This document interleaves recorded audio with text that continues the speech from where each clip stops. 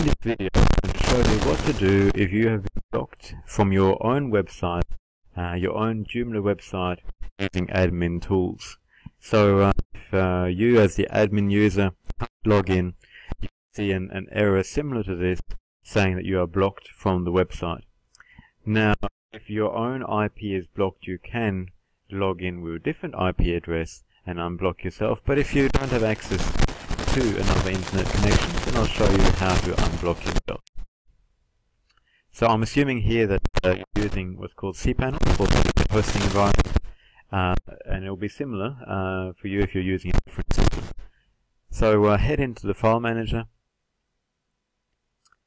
go to the, uh, the main directory of the website, go to plugins, go to system, find admin tools, go into the main admin tools folder and change the name of the main file to something similar to main disable.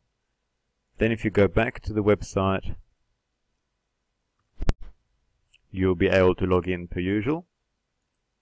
So now you need to log in and remove the block on your own IP address. So I'll do a quick search in Google for what is my IP.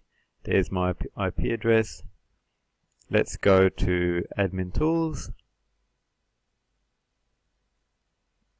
Let's go to the web application firewall, auto IP blocking. And as you can see, there are a number of different IPs blocked and these guys are bad guys in general, but I want to unblock myself.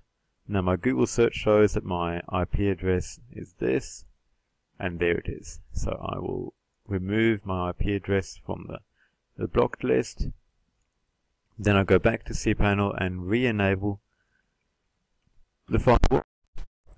And now I can continue using the website per usual. So I hope this helps. And this is uh, a guide for how to unblock yourself when you're using admin tools on a Joomla website.